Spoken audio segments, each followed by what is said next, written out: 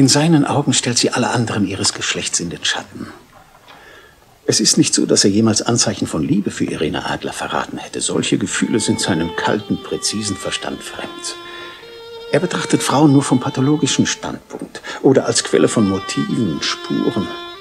Und doch, ihr Bild bewahrt er getrennt auf, eingeschlossen. Für Sherlock Holmes gibt es nur eine Frau, die wunderschöne Irene Adler, zweifelhaften und fragwürdigen Angedenkens.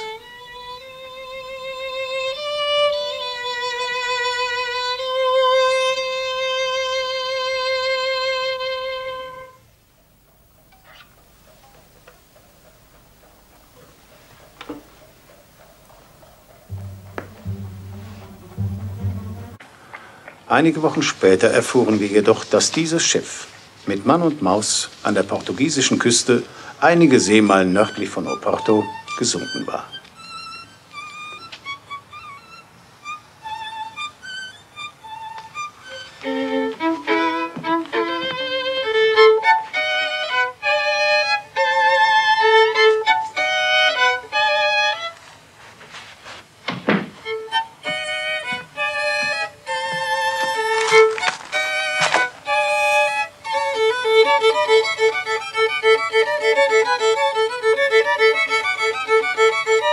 Holmes! Ja, und? Nun, es ist so, dass ich eigentlich vorhatte zu schreiben. Der Fall von Dr. Trevelyan. Jetzt sind die Fakten noch ganz frisch. Und Sie meinen? Ich verstehe. Danke, vielen Dank. Es ist, es ist für mich so, so kompliziert, mich zu konzentrieren, wenn Sie spielen.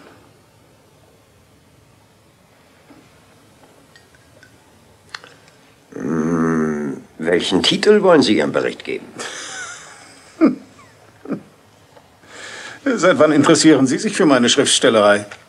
Ich habe mich immer dafür interessiert, für Ihre Titel besonders. Nun, ich dachte, ich nenne Ihnen das Geheimnis der Brook Street.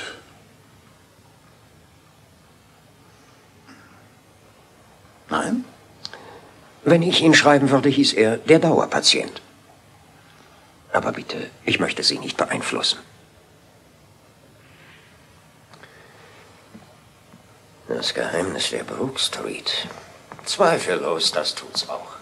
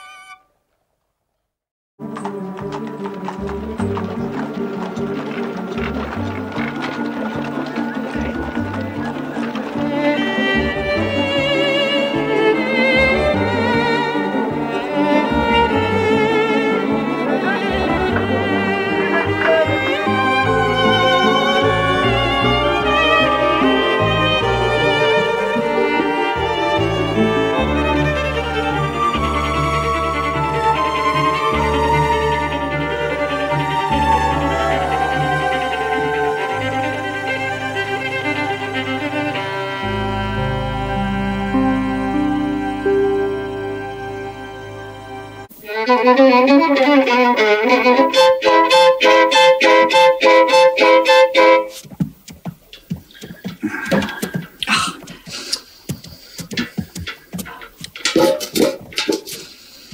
wünschen Sie Ihr Dinner einzunehmen, Mr. Holmes? Halb acht übermorgen Abend. Aus. Übermorgen.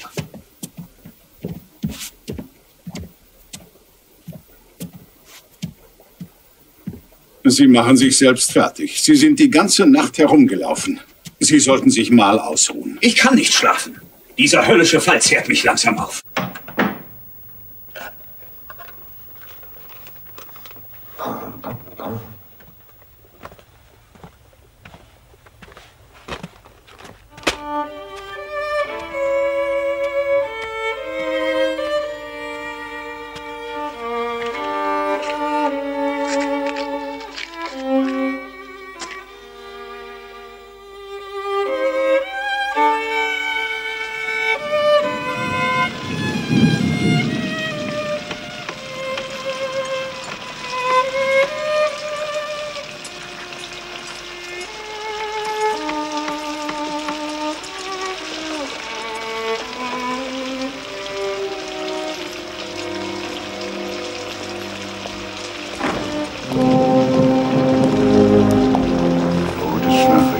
Beppo Ciccolini.